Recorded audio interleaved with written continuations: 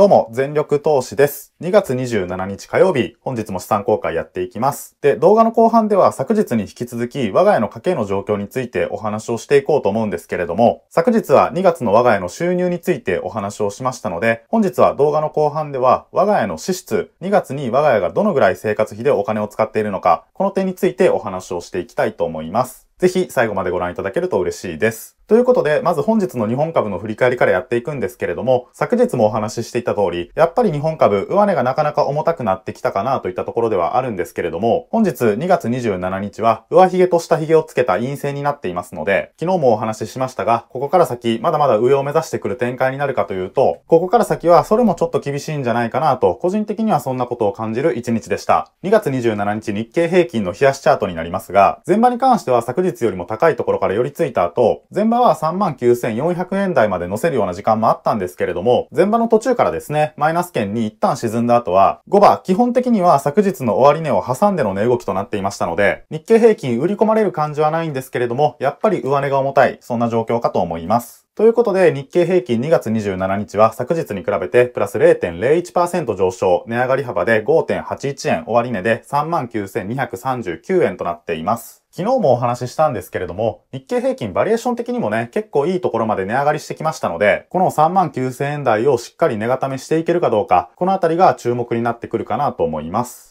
次にトピックスの日足チャートを見ていきますが、2月27日トピックスは比較的強かったんですよね。前場に関しては日経平均同様に昨日よりも高いところから寄り付いた後、前場に関してはどんどんと上値を追っていくような展開になっていましたが、前場の途中ですね、一気にプラス圏を縮めた後、後場に関しては徐々に下値を探るような展開になっていましたので、トピックス、日経平均と比べれば相対的には強い1日だったんですけれども、それでもトピックスに関してもなかなか強さが感じられない、そんな1日だったかと思います。そんな結果、トピックスは昨日に比べてプラス0.18%上昇、値上がり幅で4.84ポイント、終値で2678ポイントとなっています。トピックスは個人的にはまだ上値の余地があるかなと思いますので、ここから先中小型株への資金シフトでトピックスは上値を狙っていくことを期待したいと思います。ということで、日経平均トピックス、どちらも小幅に上昇した1日だったんですけれども、値動きを見ているとなかなか上値が重たい。2月27日はそんな1日だったわけですが、そんな中、私の資産状況どうなったかというと、楽天証券に保有している金融資産額、2月27日は昨日に比べてプラス16万5294円となっていまして、証券口座内の資産合計額で3619万4602円となっています。本日私の持っている日本株は結構値上がりしてくれたんですよね。日経平均に関してはほぼ値動きなし、トピックスに関しても0.2%ぐらいの値上がり率だったわけなんですけれども、私の日本株に関しては0.4%ぐらい値上がりをしていましたので、昨日は私のポートフォリオ値下がりしていましたけれども、本日はしっかりと上昇してくれた、そんな一日になっています。ということで、個別の値動きを見ていくんですけれども、今日は建設とか設備関連、このあたりが値動きまちまちだったんですけれども、大弾に関してはプラス82円ということで、しっかり上昇した1日になっています。次に JC リクルートメント、プラス6円ですね。こちらもしっかりした値動きとなっていますが、アルトナーとヒューマンホールディングス、このあたりが今日は値下がりしていますね。はい。で、ワールドホールディングスプラス37円となっていまして、こちらも結構上昇しているんですけれども、その下ハードオフコーポレーションに関してはマイナス11円ということで、小幅に下落となっています。で、半導体関連ですね。エレマテックとか東京エレクトロンデバイス。本日この2銘柄はしっかり上昇しています。で、当日、昨日は確か値下がりをしていたかなと思うんですけれども、本日はプラス20円ということで、こちらもなかなかいい値動きだったかなと思います。で、不動産セクターですね。ヒューリックは値下がりしているんですけれども、ウィルは値上がりといったところでして、ヒューリックリット投資法人に関してもプラス600円となっていますので、不動産セクターも値動きまちまちといったところです。で、その次、クリヤマホールディングスですね。今日はマイナス5円となっていまして、クリアマホールディングス直近で購入してからは結構いい値動きをしていたんですけれども、今日は残念ながら小幅マイナスとなっています。次にクラレですですね、プラス17.5円となっていまして、こちらも結構値上がりしたかなといったところではありますが、その下 SRA ホールディングスですね。こちらもプラス20円となっていまして、SRA ホールディングスも本日の値動き結構良かったかなと思います。なんですけれども、その下価格セクターですね。電化三菱ケミカルタキロン CI、このあたりは揃ってマイナスとなっていまして、クラレが上昇している一方で、価格セクターに関しては比較的値動き弱かったのかなと思います。はい。で、J タワーが本日値動きなしですね。で、アルプス技研もプラス23円となっていまして、こちらもしっかりした値動きなんですけれども、その下、フォーカスシステムズ、ヤマダコンサルティンググループ、このあたりは揃ってマイナスとなっています。ヤマダコンサルティンググループに関してはマイナス32円、そこそこ大きな値下がり率になっています。で、出光、日本電気ガラス、このあたりは弱いですね。なんですけれども、日本特殊陶業プラス55円となっていまして、昨日日本特殊陶業はまだまだ強い値動きが続くんじゃないかということでお話をしていましたけれども、今日もしっかり上昇となっています。で、日本製鉄今日はプラス149円となっていまして、こちらが強かったですね。SWCC とか ARE ホールディングスに関してもしっかり上昇した1日となっています。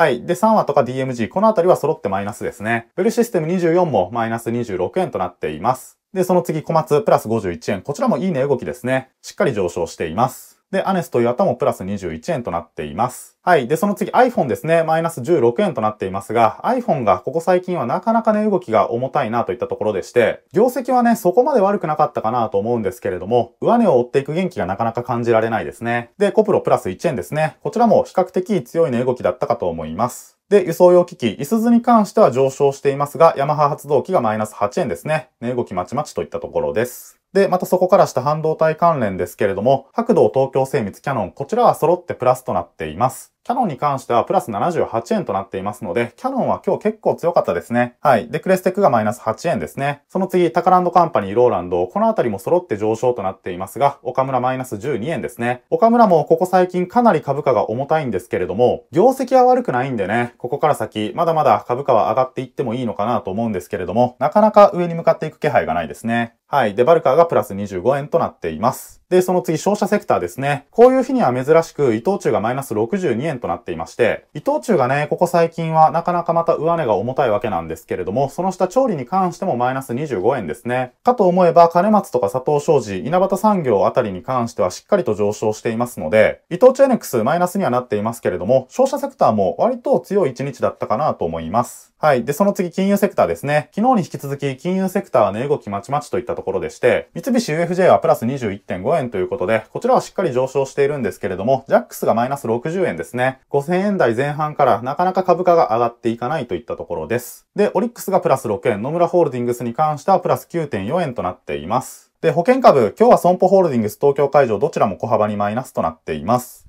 はい。で、NEC キャピタルソリューションがプラス20円。こちらもしっかりした値動きですね。で、その次、不動産セクターですけれども、イオンモールがマイナスで、統制がプラスといったところです。で、通信セクターですね。スカパーに関してはプラス7円しっかりした値動きとなっていますが、NTT に関してもプラス0.5円。こちらもね、割としっかりした値動きだったかと思います。なんですけれども、ソフトバンクに関してはマイナス24円ということで、ソフトバンクが今日は値動き弱かったですね。はい。で、電源開発がマイナス31.5円となっていまして、アイネットもマイナス48円ですね。で、1年がプラス29円。こちらもそこそこ上昇しているんですけれども、クレオもプラス16円ですね。で、ヤマダホールディングスに関しては連日マイナスということで、本日もマイナス1円となっています。ということで、持ち株眺めてみたんですけれども、今日は比較的私の持ち株の中では買われている銘柄の方が多かったかなと思います。マイナスになっている銘柄も、数としてはそこそこあるんですけれども、マイナス幅そこまで大きくありませんので、今日は指数はね、そこまで強さが感じられなかったんですけれども、個別の銘柄を見れば全体的には強い一日だったのかなと思います。そんな結果、楽天証券に保有している金融資産額3619万4602円となっています。次に楽天証券以外に保有している現金とかも含めた私の総資産額ですが、2月27日終了時点で4116万7824円となっています。お給料日が入ってから月末に向けては結構カードの引き落としとかが来ているんですけれども、そういった支払いをこなしながらもしっかりと資産額4100万円台をキープしていますので、個人的にはなかなかいい資産額の推移かなと思ってます。はい。で、次目指すは4200万円ということになりますので、ここから先日本株の値動きには期待していきたいと思います。ということで、本日は個人的にはね、なかなかいい一日だったかなと思うんですけれども、動画の冒頭お話しした通り、ここからは我が家の資質についてお話をしていきたいと思います。昨日の動画と合わせて見ていただければ、我が家が毎月どのぐらい稼いでいて、どのぐらいお金を使っているのか、このあたりもしっかりと見えてくるかなと思いますので、まあ、誰の参考になるかはわからないんですけれども、ぜひ参考にしていただければ嬉しいです。はい、ということで、我が家の支出を見ていくんですけれども、まずその前に、昨日の動画のおさらいですね。2月22日に我が家はお給料をいただいたわけなんですけれども、私と妻の収入を合わせると手取りの収入金額で、2月22日63万9919円をいただいていたということになりますので、2月はね、収入としては約64万円あったわけなんですけれども、そこから2月どのぐらいのお金を使ったのか、このあたりを細かくお話ししていきたいと思います。ということで、まず一番上ですね、生活費ということで、お小遣い16万円と記載されているんですけれども、我が家に関してはね、私と妻でお小遣いを8万円ずついただいていますので、お小遣いとしては毎月16万円となっています。で、お小遣い16万円っていうと、一般的にはかなり多いなという印象なんですけれども、我が家に関してはお小遣い結構特殊な使い方をしていまして、例えば病院に行くであったりとか、その他スマートフォンを買い替えるとか、下着を購入するとか、そういったお金に関しても全てそれぞれのお小遣いから出しているということになりますますので、お小遣い8万円と聞くと結構金額多いなという印象ではあるんですけれども、この中にはかなりの雑費が含まれていますんでね、そういったところで我が家のお小遣いは割と多めの金額となっています。はい。で、その次生活費ですね。こちらが63,116円となっているんですけれども、毎月生活費に関しては7万円という予算を決めて使っているわけなんですけれども、生活費を入れている口座っていうのを別に用意していまして、そこにお給料が入ったら毎月7万円になるようにお金を入れているわけなんですけれども、2月に関しては先月の残りがだいたい7000円ほどありましたので、7万円から7000円を引いただいたい6万3000円ほどそちらの生活費の口座に移しているという状況です。我が家は生活費7万円からはみ出ることっていうのはほとんどないですね。さっきもお伝えした通り、お小遣いの中にかなりの雑費が含まれていますので、この生活費で買うものといえば、例えばサランラップとかトイレットペーパーとか、あとその他、普段の夜ご飯の食材とかですね、まあそういったものに限定されていますので、7万円あれば生活費としては十分といったところです。はい。で、その次、電気代ですね。今月は22,801円となっていまして、今月は結構電気代高かったですね。夜寝る時も暖房とかを結構つけていましたので、そういったところで電気代今月はかなり大きな金額になっています。で、携帯代が2,949円となっていまして、こちらに関しては夫婦で iijm を使っているんですけれども、夫婦でだいたい10ギガほど使っているわけなんですけれども、毎月携帯代に関しては3000円ぐらいで収まっているかなと思います。で、家のカードと書かれているところに9759円となっているんですけれども、こちらが水道代とかガス代とかですね、そういった光熱費に当たる部分でだいたい1万円ほど2月に関しては支出をしています。はい。で、その次、固定費ですね。我が家は家賃0円となっているんですけれども、我が家は家賃がかかっていないんですけれども、今私が住んでいる家は会社が用意している社宅ということになりますので、一応東京都内に住んではいるんですけれども、家賃は全くかかっていない状況です。この家賃がないという点が、我が家の資産形成で結構大きく活躍してくれているかなと思いますので、家賃負担が0円っていうのは本当にありがたいですね。で、その次、駐車場代なんですけれども、こちらが1万1000円となっています。23区内で駐車場を借りて1万1000円っていうのはね、結構格安かなと思います。はい。で、その次、債務ですね。奨学金ということで、29,072円となっているんですけれども、こちらは妻の奨学金と私の奨学金、だいたい1万5千円ずつぐらいですかね。そのぐらい毎月支払っていますので、3万円という金額が毎月請求されるわけなんですけれども、この奨学金に関しても、多分あと5年ぐらいでもう終了かなと思いますので、金利もほとんどかかっていませんので、こちらはゆるゆる返していきたいなと思ってます。で、その次、教育費ですね。子供の保育園料ということで、こちらが3万1000円となっています。保育園料も結構高いんですよね。はい。で、その次、耐久財。2月に関しては耐久財を購入していませんので、こちらは0円となっています。で、その次、有教費とか冠婚葬祭費ですね。まあ、主には旅費とか、例えば旅行に行けばね、こういったところに大きな金額が出てくるわけなんですけれども、2月に関しては特に旅行とかにも行っていませんので、今月は有教費とか冠婚葬祭費に関しては0円となっています。